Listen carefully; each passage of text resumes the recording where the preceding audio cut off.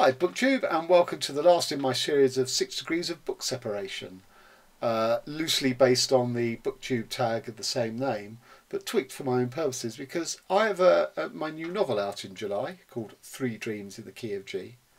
And each of these six um, chains of uh, book separation that I've done starts off with a book that had some input or influence on my own novel and then the subsequent five may or may not also have fed into it. But the, the first book, uh, you know, has some key contribution.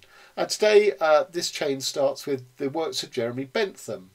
Now, Jeremy Bentham was a Victorian philosopher credited with uh, the, the notions of utilitarianism, uh, in which Bentham wrote that politics should be uh, absolutely about ensuring the greatest good for the greatest number of people in a population.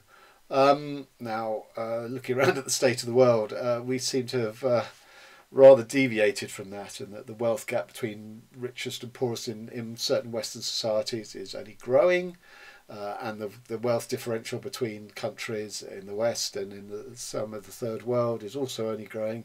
So we seem to move very far away from this notion of the greatest good for the greatest number.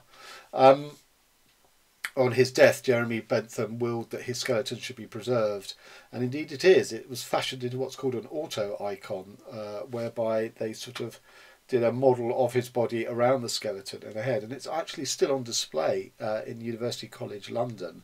So uh, if you have a problem with uh, the concept of utilitarianism, you can go and remonstrate with Bentham himself.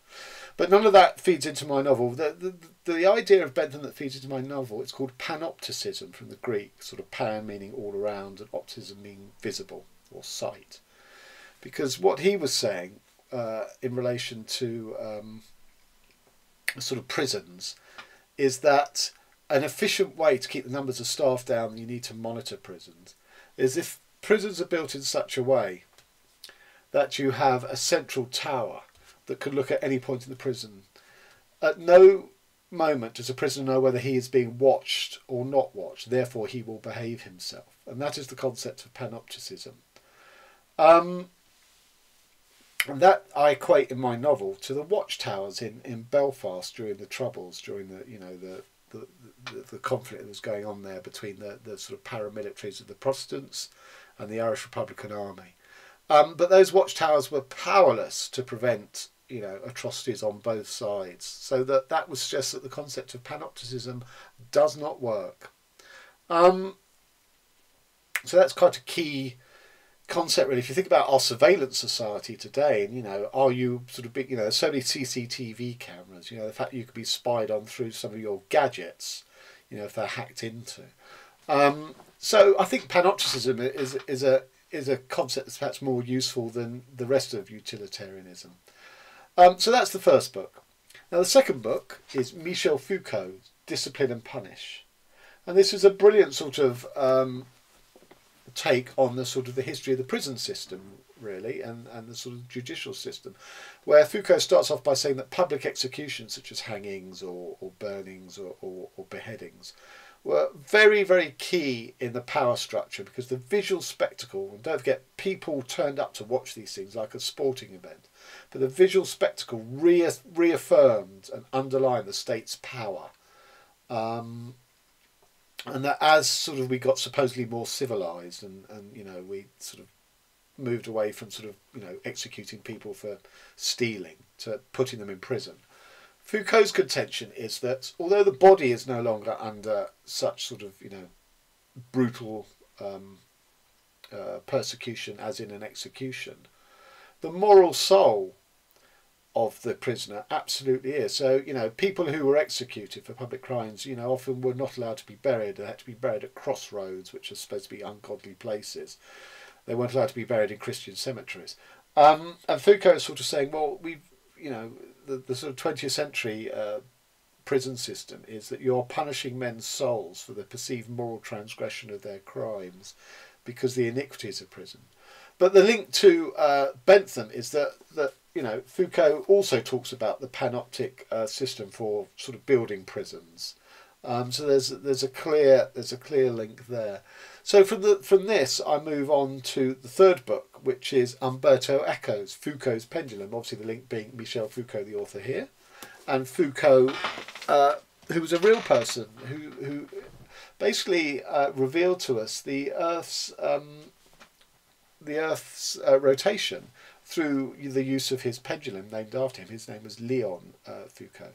And uh, uh, Umberto Eco's book, uh, Foucault's Pendulum, is a sort of three occultists, you know, cook up this sort of hoax of a, you know, an occult thing whereby they say there's a place on Earth where all power is condensed, and if you can find it, you'll have access to, you know, this sort of huge power, a bit like sort of uh, um, Raiders of the Lost Ark and, and, the Ark of the Covenant and all the power that supposedly concentrates and, and can unleash.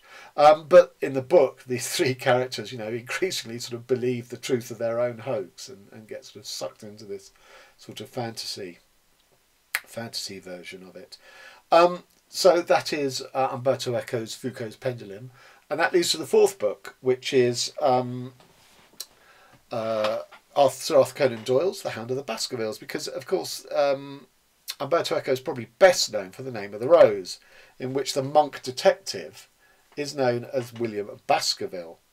And, of course, The Hound of the Baskervilles, uh, you know, the Baskerville estate, and there's supposed to be these sort of, you know, satanic dogs, uh, sort of, you know, at large. Um, and of course, it's only uh, it's only um, Sherlock Holmes's use of science and reason that you know reveal this not to be the case. It's not a theological or a you know divine supernatural origin. It has a much more prosaic uh, thing behind it, and that leads to book five, which is the curious incident of the dog in the night time, which um, the main protagonist is Christopher Boone, who is on the uh, autism Asperger's uh, uh, uh, spectrum uh, he's a big uh, Arthur Conan Doyle stroke Sherlock Holmes fan. And this starts with uh, him pursuing an inquiry into the, the, the strange death of the neighbour's dog, but very soon opens up into an inquiry into a search for his mother because he believed his mother was dead, and then he of increasingly finds out that this is not the case, and he goes off in search of her. And with all his sort of limitations because of his condition of autism, it's a, a stupendously uplifting book that makes you just root for Christopher Boone. So uh, the link is obviously to Conan Doyle and and uh, the Hound of the Baskervilles for book five, and finally to book six, Jonathan Lethem, Motherless Brooklyn. And this is also someone with a, a sort of neurological condition, and in this case, the main character here has Tourette's.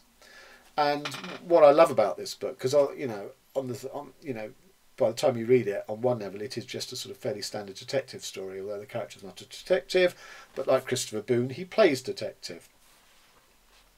But what makes this book extraordinary is the language in it. There's just sort of these explosions of words sort of put together, combinations of words that you just do not expect because of his Tourette's, because his brain sort of, you know, like a sort of a foundry or a forge, and out come these sort of scintillating sparks of language. And the book itself, you know, there are other languages in the book. There's sort of hip street slang. There's the gangsters who are who are not American by origin, and English is their second language. So there's the mangling of language, of the English language that they have. So it seems to be saying, you know, we all have these verbal tics, these linguistic tics. And it's, you know, as I say, despite being a fairly mundane plot, it's a wonderful, wonderful read. So there you have it. There is my final six degrees of book separation. We started off with Jeremy Bentham uh, the collected works of Jeremy Bentham. And then from him we went to uh, Michel Foucault's Discipline and Punish because of the thing about panopticism. Then from that we went to Umberto Eco's Foucault's Pendulum because they share the name Foucault. And then from there we went to Sir Arthur Conan Doyle, Hound of the Baskervilles, because of course Eco's famous character William Baskerville, William of Baskerville, feeds directly uh, into the name of the Hound of the Baskervilles. And that led us into the curious incident of the dog in the night time, where the main character Christopher Boone uh, is a big uh, Sherlock Holmes fan, and of course there is a dead dog uh, that sort of starts his investigation. And from that, finally, we go into Motherless Brooklyn, which is like the Curious Incident of the Dog in the Night Time, a character who is beset with a neurological condition. So there you have it. There is my final um, one of these uh, these book chains. Um, my novel will be out in July. I will be doing a sort of um, I won't review it because that would be odd, uh, reviewing your own novel. But I will talk about it in a future video, give you an introduction, see if uh, you know if it strikes your fancy. So till then, thanks very much.